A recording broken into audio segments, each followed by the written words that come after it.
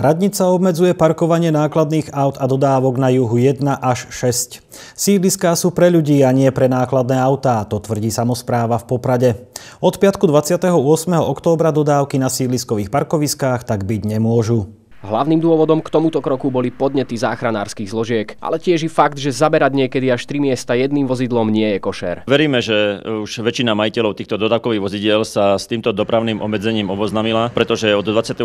je v platnosti a chceme, aby naozaj pristúpili k tomu zodpovedne. Dokopy až 300 užitkových vozidiel tak musí uvoľniť miesto osobným automobilom, a to v čase od 16. do 6. hodiny rannej. Týka sa to najmä dodávok s dĺžkou nad 5,1 metra. Na obmedzenie už upozorňuje vodičov značenie. Napriek tomu samozpráva správa ráta aj so sťažnosťami. Tieto motorové vozidla by mali parkovať hlavne v sídlach firiem, ale stretávame sa aj s tým, že sídlo firmy je v mieste bydliska na sídlisku Juh 1 až 6 a títo majiteľia motorových vozidel by ich mali parkovať na e, parkoviskách, kde je to dopravným značením povolené. Početnejšie rodiny, ktoré majú viac miestne autá, sa obávať nemusia. Podľa slov náčelníka týmto vozidlám státie nie je zakázané. Verím tomu, že občania a hlavne tí majiteľia týchto dodakových vozidiel, aj napriek tomu, že je to citeľná zmena a veľký zásah do ich súkromia, súkromia, budú toto dopravné značenie rešpektovať. Polícia zo začiatku bude schovievať k týmto vodičom. Skôr budeme možno, že aj spoločne riešiť to, kde by tieto dodávkové vozidla mali odparkovať. E, nevylučujem však, že vodičov, ktorí závažným spôsobom porušia aj toto dopravné obmedzenie, budeme riešiť priamo na mieste blokov aj e,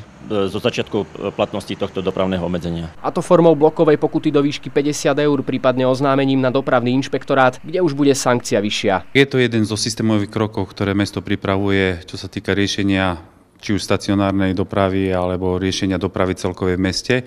Pripravujeme ďalšie kroky, to znamená, riešime aj parkovacie domy, malovanie čiar a rôzne veci ohľadom e, parkovania, ktoré by mali vylepšiť situáciu. Téme parkovania ako i celkovej dopravy v meste sa radnica má kontinuálne venovať.